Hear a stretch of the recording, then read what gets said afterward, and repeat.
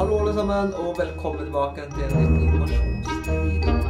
Jeg vet at jeg har vært litt sløv med å laste opp litt video. Det er jo tre dager siden snart, eh, cirka, at jeg har lagt opp nå. Grunnen til dette er at eh, jeg jobber med D-Way, og da jobber jeg fra 9 til eh, 1700. Og når jeg kommer hjem, så er det jo middag, gå tur med hunden, og så er det å streame, og så blir det liksom det blir litt lite tid å laste opp en video. Men jeg skal prøve å være flink. Noen dager så kommer det opp video, andre dager så kommer det ikke video. Men jeg skal prøve i hvert fall å streame.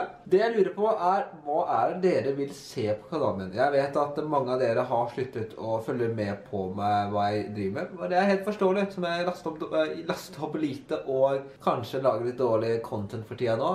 Men for dere som faktisk følger med, hva er det dere vil jeg skal legge opp på kanalen? Jeg har jo spilt litt GTA, jeg har jo spilt litt Destiny, uh, Fortnite har jeg spilt. Jeg er litt lei av Fortnite, det må jeg innrømme, men uh, jeg vil høre deres mening, deres mening om hva vil dere se på kanalen.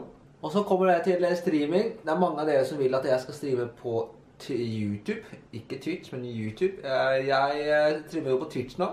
Men jeg kan si det sånn at jeg kommer til å gå tilbake til YouTube om ca. to måneder.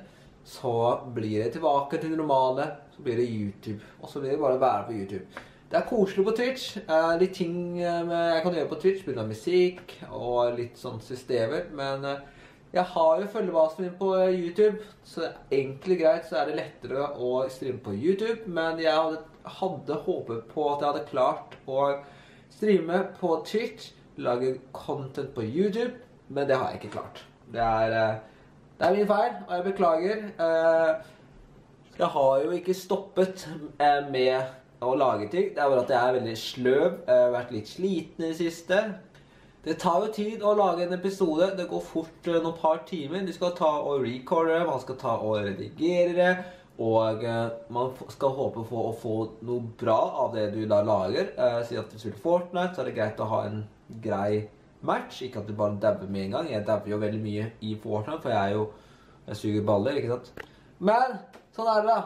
Så jeg håper på at eh, du forstår eh, grunnen til at det blir kanskje litt lite video for tida. Eh, jeg håper Håper du fortsatt vil følge med. Eh, hvis ikke, så er det helt forståelig. Men da vet du i hvert fall det. Hvis du liker streamene så er det på Twitch fram til oktober, for da går jeg over til YouTube. Og for dere som lurer på det, er bare for, sånn er det bare. Jeg beklager. Jeg beklager veldig mye, men sånn er det. Det har vært lite 3D-print-serie til og med, for jeg har ikke hatt tid. Det er onsdag i dag. Det skal komme ut en 3D-print-serie i dag. Eh, Det er to uker siden jeg har lagt ut nå. Så, men det skal bli bedre. Prosjektet varer jo nå fram ut oktober og litt lenger, så jeg skal prøve å eh, Jeg skal skjerpe meg. Jeg skal prøve å bruke helgen min til å i hvert fall få noen dager fylt opp med eh, gameplay og video som dere vil eh, se.